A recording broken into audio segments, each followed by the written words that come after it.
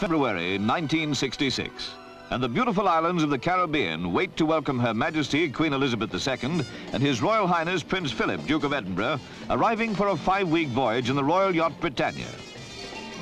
The royal tour began in Guyana, the beautiful land of many waters, soon to become an independent country of the Commonwealth, a land of sugar, rice, and rich mineral resources, including valuable bauxite.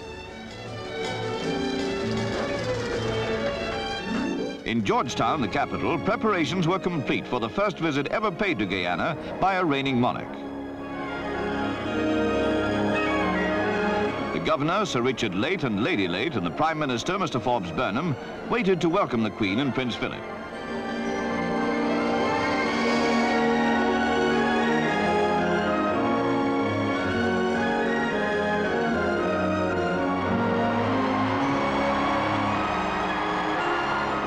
As the royal visitors drove through the streets of Georgetown to the public buildings, the people of Guyana added their own rousing greetings.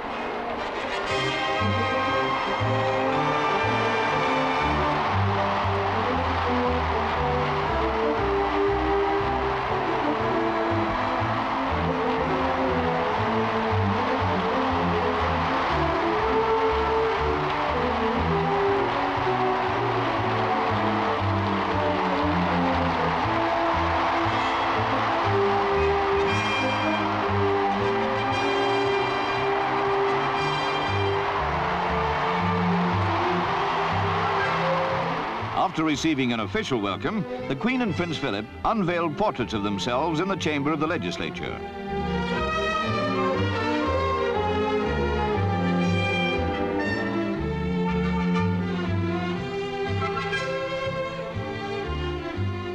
Once again, they drove through the streets of the capital, where the celebrations for the royal visit were in full swing.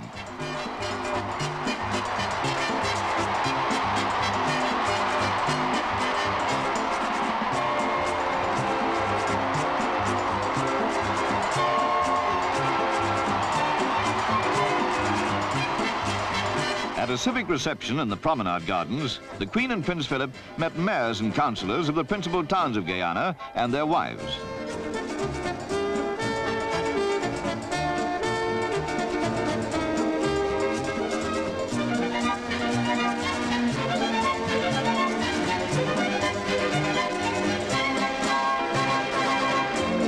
Ten thousand children cheered the royal couple at Georgetown Cricket Ground, and some of them gave a delightful display of folk dancing.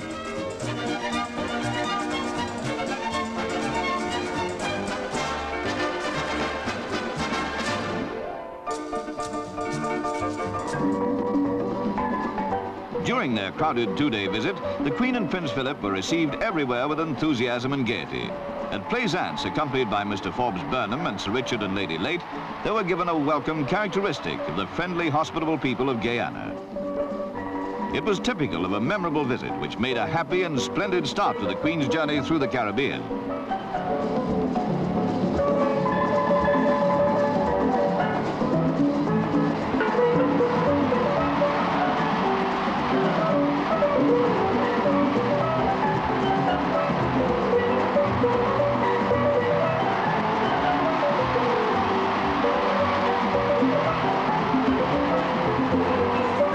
On to Trinidad and its capital, Port of Spain.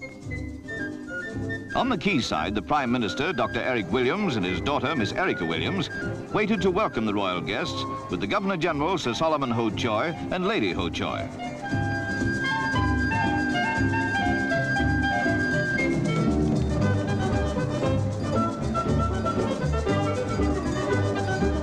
Troops of the Trinidad and Tobago Regiment formed a guard of honor. The University of the West Indies at St. Augustine has faculties of agriculture, engineering, arts and science, and social science. The Queen talked with some of the students who come from all over the Caribbean. And members of the faculties were presented, including Sir Frank Worrell, Dean of Studies and famous cricketer.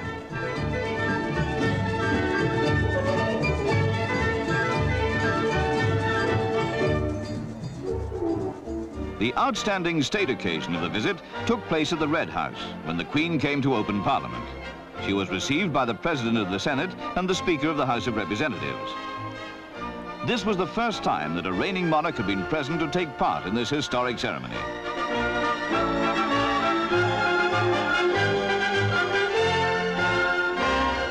Queen takes no active part in politics, but as head of state, she reads a declaration of the policies of the elected government of Trinidad and Tobago prepared by that government. This declaration has come to be known as the Speech from the Throne. After thanking the people of Trinidad and Tobago for their warm and enthusiastic welcome, the Queen went on to outline the programme for the next session of Parliament. The speech referred to the development of industry at home, the expansion of public services and education, and to cooperation with sister Commonwealth countries of Canada and Jamaica, and continued support for the United Nations.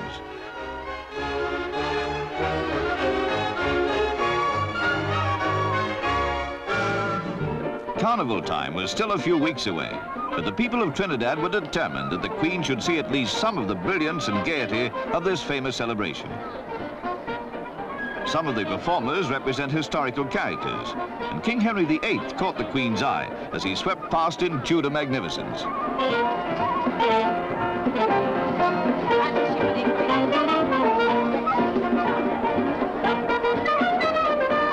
Afterwards, the Queen said, if this is just a preview sample, the real thing must be fabulous.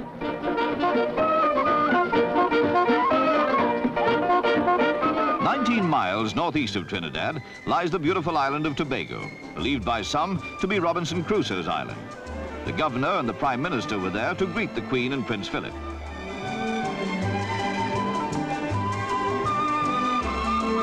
The royal party had lunch at Crown Point, one of Tobago's many beauty spots.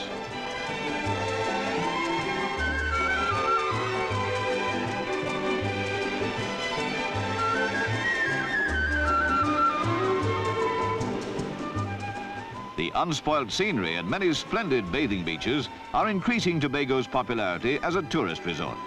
The Queen saw a number of these when she drove round the island, including the magnificent view from Fort George.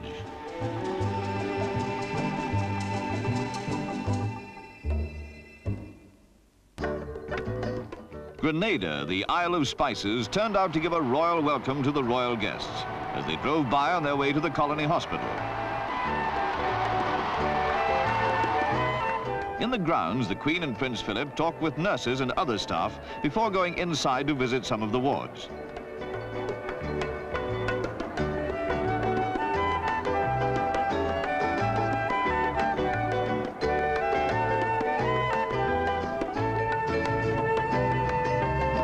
On a drive round the island, they stopped to talk to fishermen, and Prince Philip inspected some of the catch.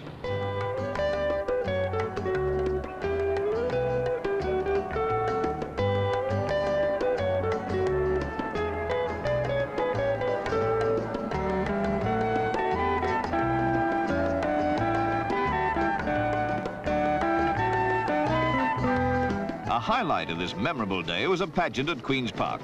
The agriculture of the island was featured by girls dressed to represent cocoa, nutmegs, bananas and cotton, Grenada's main crops.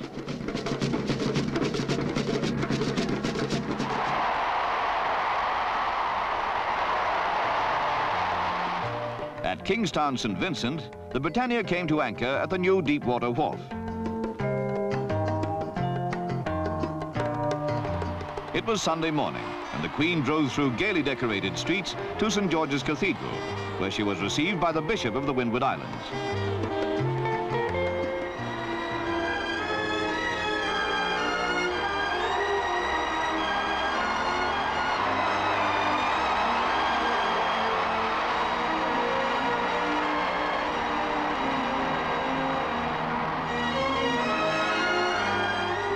The clergy were presented before the royal party went into the cathedral to attend divine service.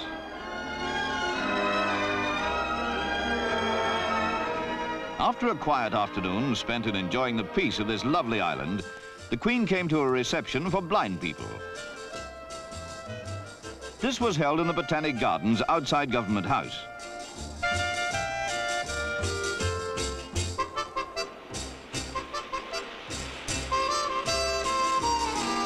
Barbados stands on one of the world's great trade routes, and the Deepwater Harbour, where the island's main crop, sugar, is loaded in bulk, has brought Bridgetown into line with the most modern ports in the world.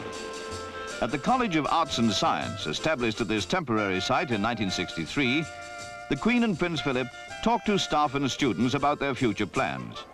Young men and women from the Eastern Caribbean territories come to study at this branch of the University of the West Indies.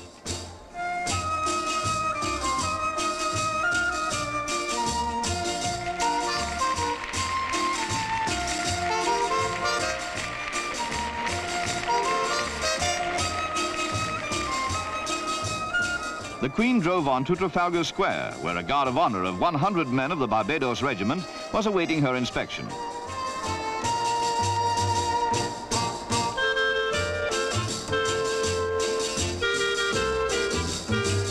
The Queen Elizabeth Hospital cost £9 million to build and is one of the finest hospitals in the West Indies. The operating theatre has the most modern equipment and there are special recovery rooms for surgical cases.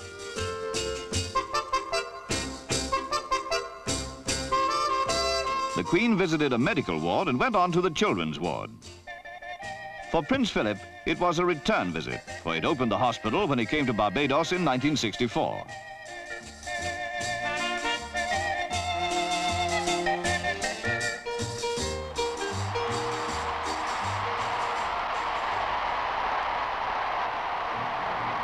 On the second day of her visit, the Queen drove through the Northern District, and at Farley Hill, she opened Barbados' first national park.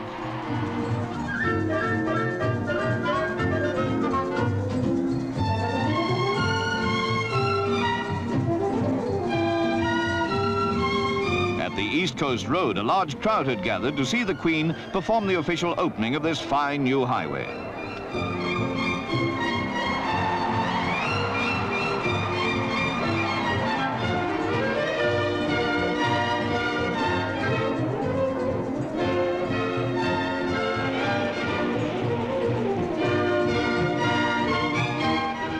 Britannia dropped anchor in Soufriere Bay, St. Lucia, gaily decorated fishing boats came out to meet her.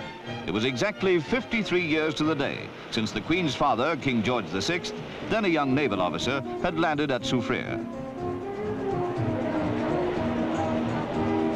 The Queen was welcomed by Mr. Bryan, the administrator, and was then presented with a bouquet by a young islander in traditional dress.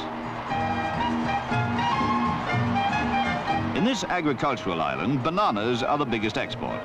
The Queen saw bananas being prepared for shipment at Winban Research Center, which was established to encourage and institute measures for the well-being of the banana growers of the Windward Islands. Later, there was a demonstration of crop spraying.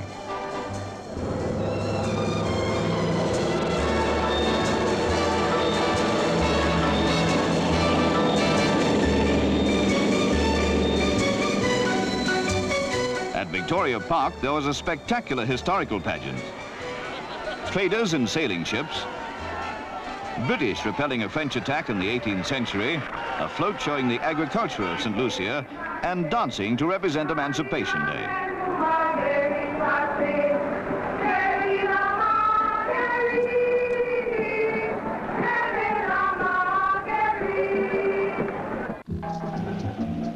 Dominica, one of the most rugged and beautiful of the Caribbean islands. When the Queen came to Portsmouth, children danced for her before she drove through the town.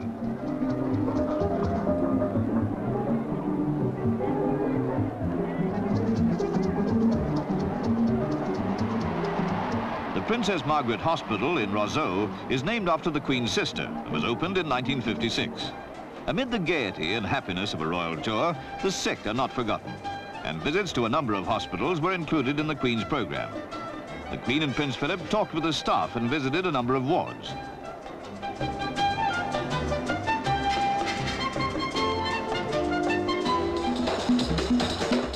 The Commonwealth Arts Group danced the traditional Bel Air at a rally in the Botanic Gardens. Carib baskets are a speciality of Dominica, which every visitor likes to take home. The Queen thanked the people of Dominica for their gift in these words. We are delighted with the Carib baskets you have given us, which will remind us of the race which once gave its name to the Caribbean and whose last stronghold was in Dominica. With these presents, we shall take with us and will cherish warm and happy memories of the loyal people of Dominica. whose affection and welcome we have received today.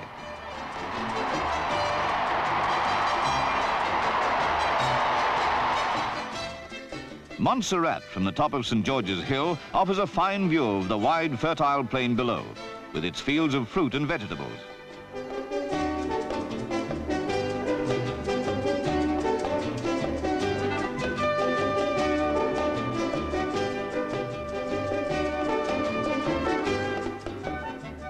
Here it was appropriate that the main event of the day should be an agricultural show, where the Queen was presented with baskets of fruit.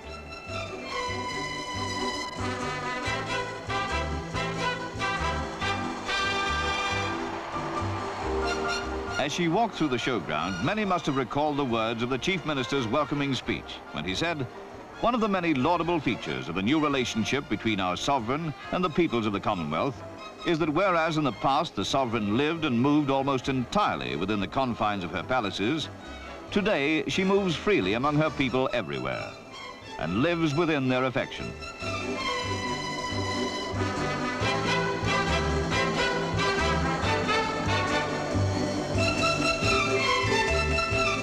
Antigua, an island of magnificent natural harbors and beautiful coral reefs, gave the Queen and Prince Philip an enthusiastic welcome when they drove through the streets of St. John's, bright with flags and decorations in honor of the royal visit.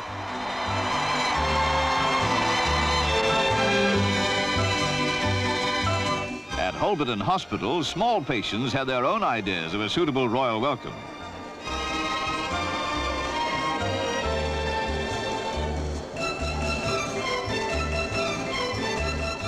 This fine modern hospital has a recently completed block housing a medical ward, administrative offices, casualty and outpatients departments.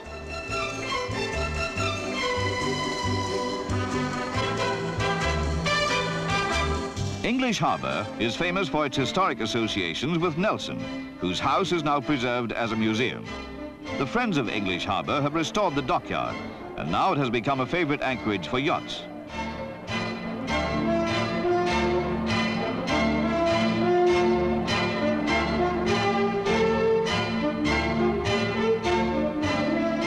St. Kitts, beautiful and mountainous, the Queen was greeted by the administrator, Mr. Phillips.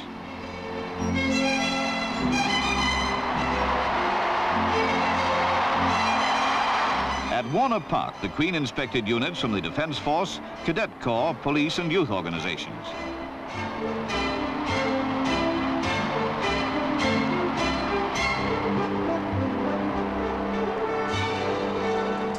Sugar is the mainstay of the island's economy. And at Basseterre, the Queen saw some of the processes used in milling the entire sugar crop of St. Kitts and Nevis.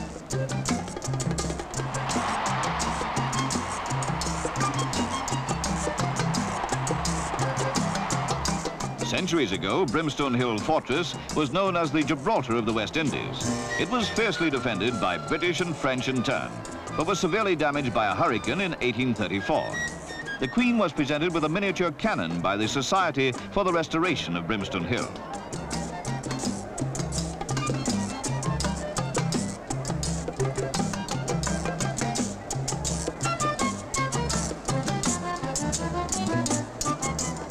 In the afternoon, the Queen visited the neighbouring island of Nevis and acknowledged a rousing welcome from the balcony of Government House.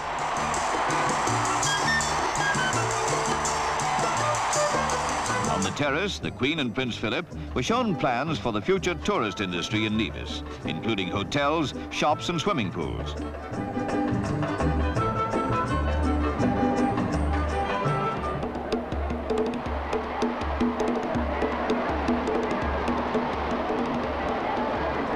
It seemed as if all the 13,000 inhabitants of Nevis came down to the quay to wave goodbye to the Queen and to call, come again soon.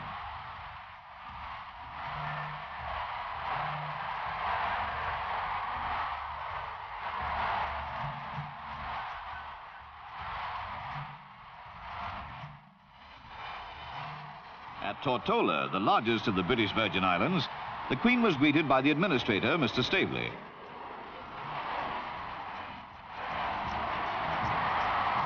Her first engagement was to open the West End Road, part of an extensive road and bridge program. The Queen then drove along the new road to a welcoming ceremony in Road Town, where she received a gift of a model of a traditional Virgin Islands sloop.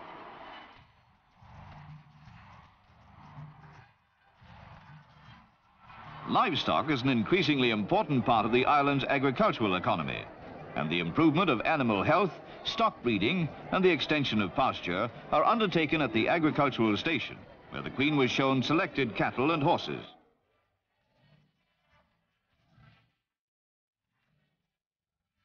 The Queen marked another important event in the island's development when she opened the new Queen Elizabeth Bridge, linking Tortola with the airstrip on Beef Island.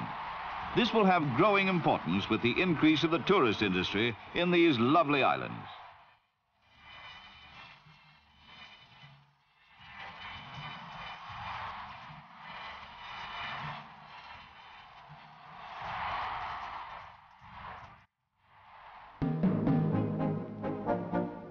A United States missile tracking station was established at Grand Turk in 1952.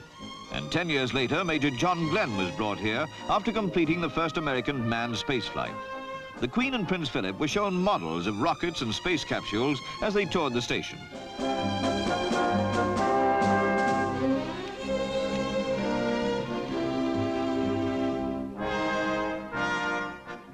At a reception in the gardens of Government House, the royal couple talked informally with some of the guests.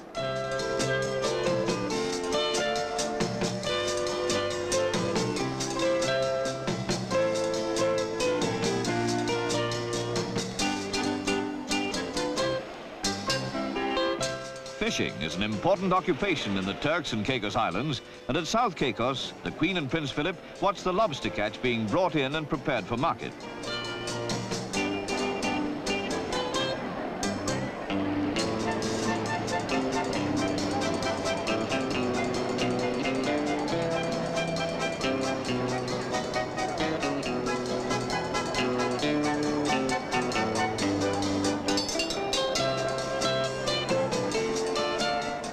Race provided one of the highlights of the stay in South Caicos. But you can never rely on a donkey, even on a royal occasion.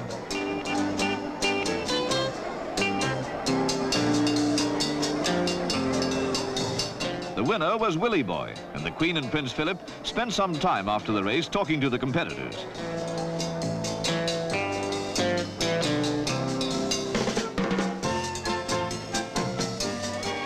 Fleet of graceful Caicos sloops ended a memorable day when they saluted the royal guests as they returned to Britannia.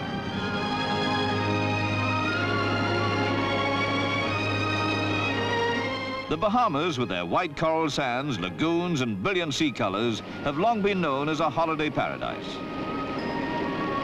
At Nassau, the governor, Sir Ralph Grey, with Lady Grey and the premier, Sir Roland Symonette, welcomed the Queen and Prince Philip.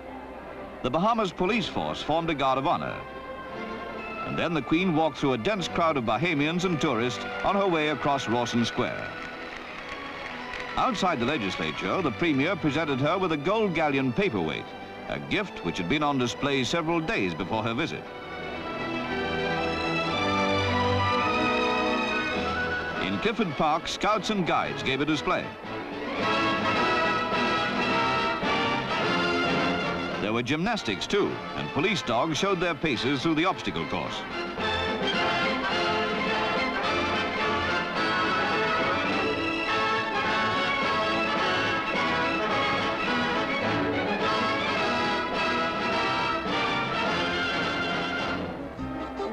At the Princess Margaret Hospital, the Queen and Prince Philip visited a number of wards and took a keen interest in the welfare of the young patients in the children's ward.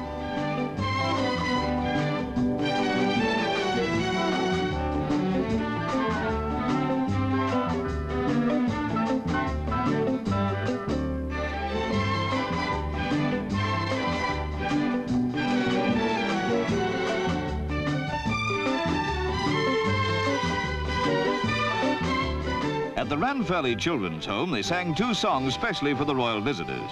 The home, which was opened in 1956, is for orphans and other children in need of care. And the Queen and Prince Philip spent some time talking to children and staff.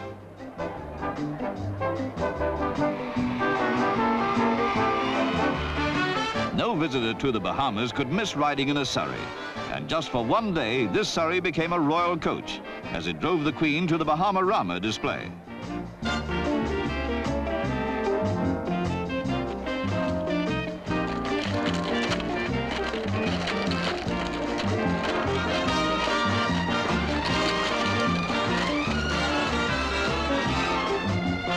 This exhibition was specially mounted so that the Queen and Prince Philip could see in a small space some aspects of Bahamian life, which they would not have time to see in reality during their short stay.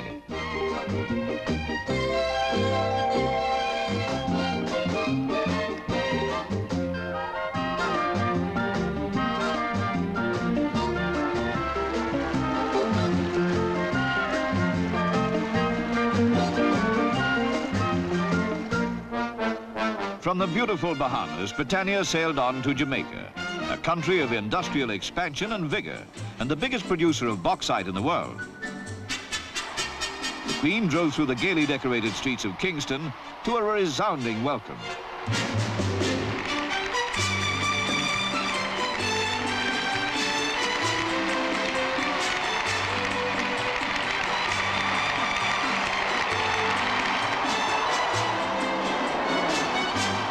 Troops of the 1st Battalion, the Jamaica Regiment, formed a guard of honour on the occasion of the state opening of Parliament. Members of the Senate and of the House of Representatives arrived, followed by the Governor-General, Sir Clifford Campbell.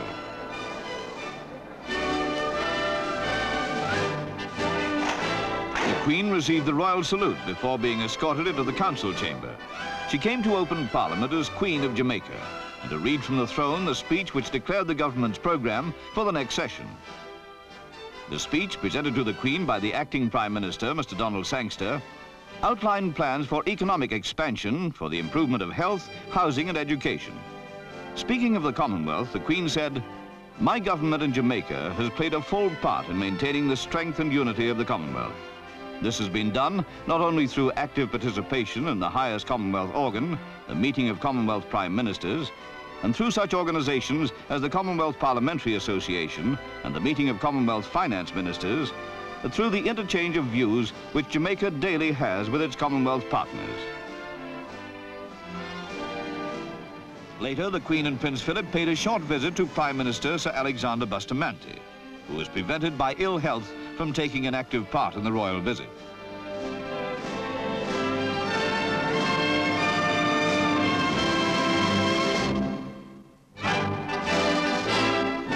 On the last day of the tour, the Queen came ashore at Doctor's Cave Pier in Montego Bay.